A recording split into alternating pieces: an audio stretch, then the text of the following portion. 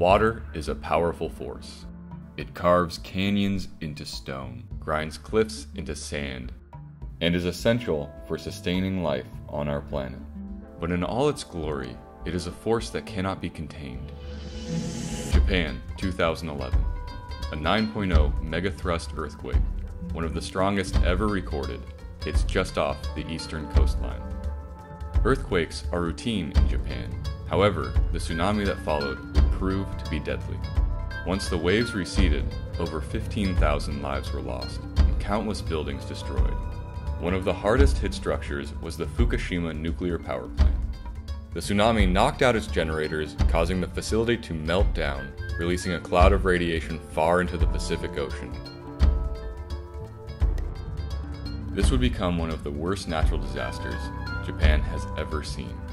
Dr. Daniel Cox, professor of civil and construction engineering at Oregon State University, was in Japan when the 2011 earthquake hit. The 2011 tsunami was uh, very unique in some sense because Japan was considered to be well prepared for a tsunami and it was a disaster.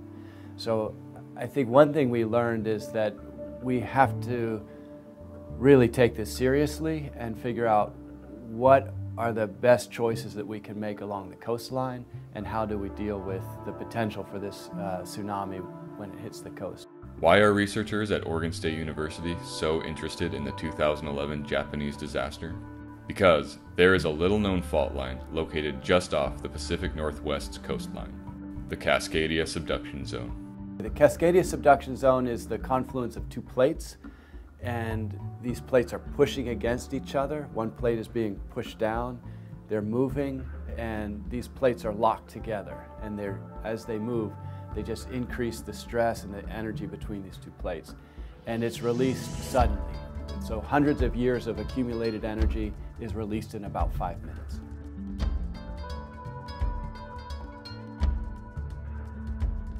The Cascadia subduction zone, it runs from Northern California all the way up to Vancouver Island, BC. So this is you know, hundreds of miles of coastline that will be affected. There are different types of rupture events. Some could only be partial rupture, where just part of that subduction zone goes. The other one, the, the, what we call the big one, or the really big one, is say magnitude 9.0, where the entire rupture is, it's the entire uh, subduction zone that ruptures. So we're looking at a wave that would uh, hit the entire coast of the, the, Pacific Northwest. So the entire Pacific Northwest would be affected. I think even as important, the major metro areas will be affected. So um, Portland, uh, Seattle, they'll be affected by the intense uh, ground shaking. So it's going to be a, a pretty big event for the entire Pacific Northwest. We now know that a large-scale event can occur because of the research being conducted at Oregon State University's O.H. Hinsdale Wave Research Laboratory. The O.H. Hinsdale Wave Research Laboratory is a large-scale coastal engineering research facility. It's easily the largest one in the United States and it's in the top five to eight in the world. It's very special because it has two wave makers, two different uh, tanks with two different wave makers, but they both are capable of making a tsunami type wave, which is what sort of sets it apart from other facilities. In addition to studying how tsunamis impact coastal structures, researchers at Oregon State University use sea cores to date past events a researcher at Oregon State has gone out and done a lot of seafloor cores. And what we can do, we can core the seafloor a lot like you core a tree. And so you can look at the layers of sediment and you can sort of read the history or interpret the history of what's happened in the ocean. And there's a lot of things you can learn from the seafloor cores.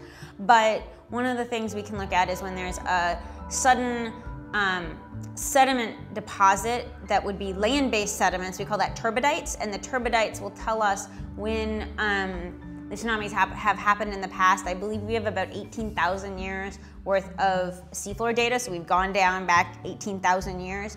From that, we know that tsunamis happen on an average of every three to 500 years.